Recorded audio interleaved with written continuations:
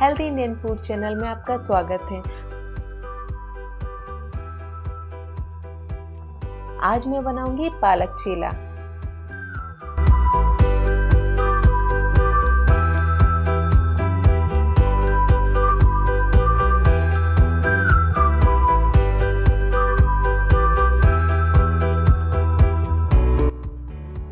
चलिए देखते हैं पालक चीले को बनाने के लिए हमें किन किन चीज़ों की ज़रूरत होगी।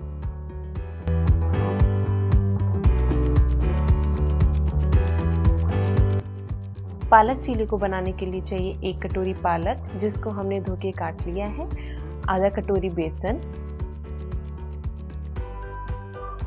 एक चौथाई कटोरी धनिया। एक चम्मच घी। अदरक, लहसुन, हरी मिर्च का पेस्ट बना लिया, जो कि आधा चम्मच है। नमक स्वाद अनुसार।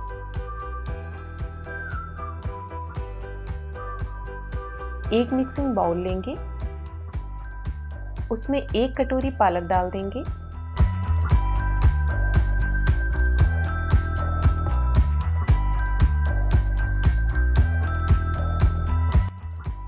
अब इसमें आधा कटोरी बेसन लिया है, वो डाल देंगे।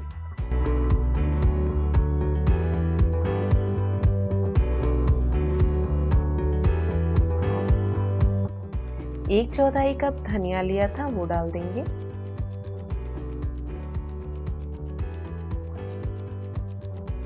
अब इसमें अदरक, लहसुन, हरी मिर्च का जो पेस्ट लिया था, आधा चम्मच, वो डाल देंगे।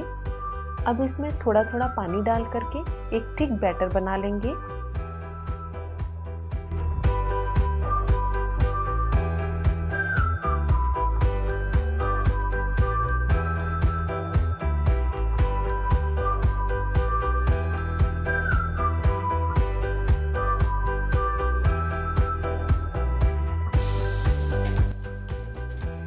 फ्रेंड्स बैटर में अब नमक डाल देंगे।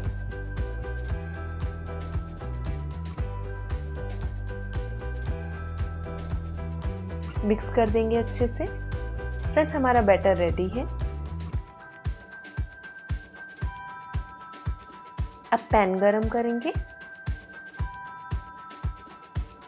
एक चम्मच घी डाल देंगे।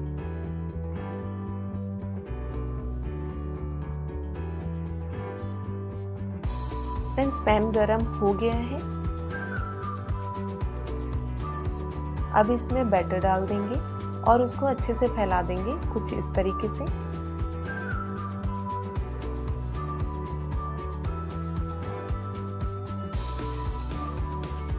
अब इसको दोनों तरफ़ से अच्छे से सेक लेना है।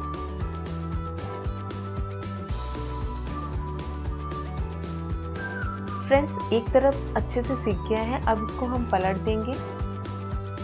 आप देख सकते हैं, एक तरफ़ ये कितना अच्छे से सीख गया है। फ्रेंड्स हमारा पालक चीला रेडी है।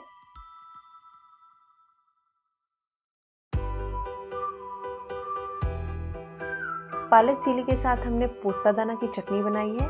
पोस्ता दाना की चटनी बनाने के लिए हमें चाहिए लहसुन, चार से पाँच कलियाँ, हरी मिर्च एक, नींबू का रस, आधा चम्मच नमक स्वाद अनुसार पोस्ता दाना दो चम्मच।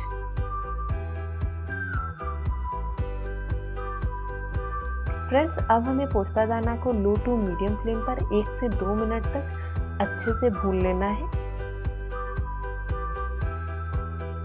फ्रेंड्स, हमारा पोस्ता दाना भुन गया है। अब इसको ठंडा होने के लिए दो मिनट के लिए छोड़ देंगे। फ्रेंड्स, हमारा पोस्ता दाना ठंडा हो गया है। अब मिक्सर जार लेंगे। उसमें पोस्ता दाना डालेंगे, हरी मिर्च डाल देंगे, लहसुन की कलियाँ डाल देंगे, नींबू डालेंगे आधा चम्मच जो लिया था, नमक स्वाद अनुसार। अब इसको ग्राइंड कर लेंगे फ्रेंड्स हमारी पोस्ता दाना की चटनी रेडी है फ्रेंड्स होप करती हूँ आपको ये वीडियो पसंद आया होगा। आप मेरे चैनल को जितना हो सके लाइक करें सब्सक्राइब करें शेयर करें, ताकि मैं और भी simple and easy to make healthy Indian food की रेसिपी लाती रहूँ।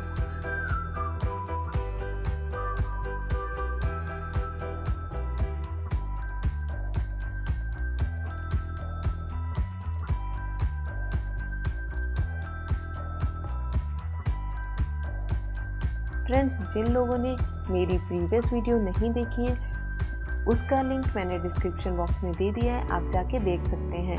Thanks for watching my video